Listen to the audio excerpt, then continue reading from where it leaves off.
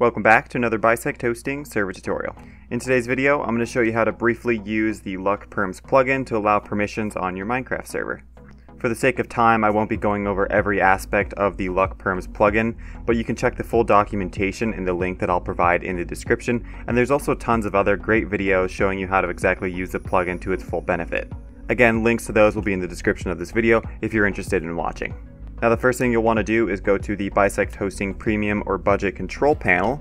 Right now I'm on a premium server and we'll also want to install the plugin firstly. So the first thing you'll need to do is go to the LuckPerms official website on the Spigot page. And once we've successfully loaded that page, we're going to want to click that download now button here in the top right hand corner. Once you do that, it might say to check your browser before downloading. Just go ahead and wait and allow up to five seconds. Go ahead and select keep and then now that that plugin is downloaded onto your desktop, we can go ahead and head over to the control panel again. Right now I am on the home page, but what we're going to want to do is go into the file manager here on the left hand side, and then look for the folder labeled plugins. Now, by default, Minecraft servers do not have the plugins folder. You'll need to install either Bukkit, Spigot, or Paper in order for that plugin capability to be accessed. Once we've opened that plugins folder, I'm going to go ahead and click this upload button here and then simply drag and drop that jar folder into the Dropbox.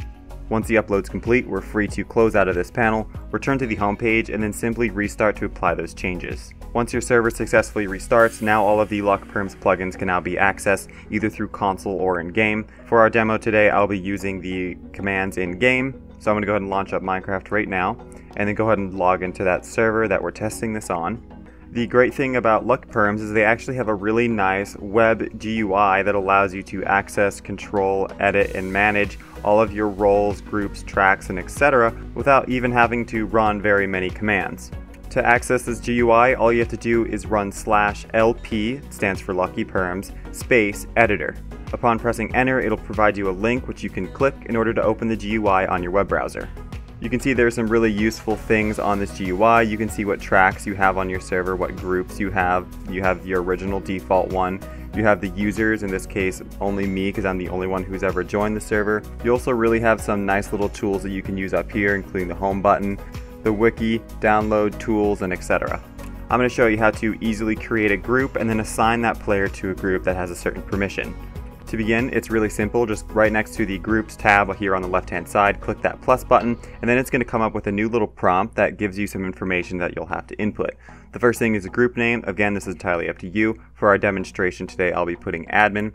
The weight is a number that it correlates to tracks. Right now we won't really show you how to do that, but again, there's a full description and documentation in the description on exactly how that works. If you're not sure what this is, I would just set this to a weight of 100. The display name, you can just use the same thing as your group name, and then the prefix and suffix is again optional. This allows you to have text before and after your name in the Minecraft server. So for now, I'm just going to put the brackets, admin, close brackets. That way, when I'm assigned to that group, it's going to say admin and then my Minecraft username. Once you're done, just click the add group button and now you've successfully created your first group. Now that we've created our group, we're going to want to be able to assign players to that group. To do that, it's actually really simple. Just head over to that users panel here on the left-hand side, and then select the user that you want to assign. So for my example, I'll be doing myself. And then you're going to see this little uh, permission down here that says group.default. What you're going to want to do is actually change this to group dot and then whatever group that you decided to make or want to assign to that player. So I'm going to go ahead and select it to edit and then change this default to admin. Great, once that's done, you can go ahead and click out of it so that saves, and then we're gonna wanna make sure we click that save button here in the top right-hand corner. Wait for it to save, and then it's gonna give you a command in which you now have to paste back onto the console or Minecraft server. So I'm gonna go ahead and click it to copy. We'll head back over into the server and then simply just paste it in and then press enter. You'll notice that when you press enter, it's going to kind of spam you with some information. That's normal. That's just showing you all the changes that you made to the server after you saved it. Great, so now we have a group, but there's not actually any permission nodes that are assigned to that group, so basically it doesn't have any point besides the prefix. In order to do that, we'll go ahead and head back into that launcher still and run slash lp editor in order for that editor to pop up again.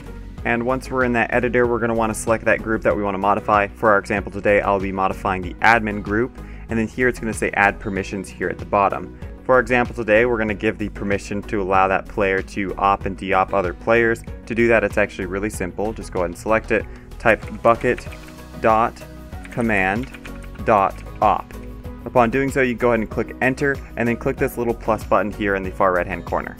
Now you can easily save it in the top right hand corner, head back over to the launcher, paste that command, and now that player or anyone in that group can now have the ability to run the op and deop command. Of course, this applies to all commands and other plugins that have permission levels. All you have to do is add it to the group or the individual player in order to give them access to that functionality.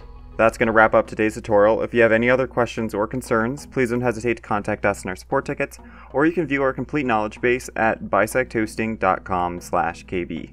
If you enjoyed this video and would like to see more, consider giving us a thumbs up and subscribing, and comment down below what you'd like us to cover next. Thanks for watching.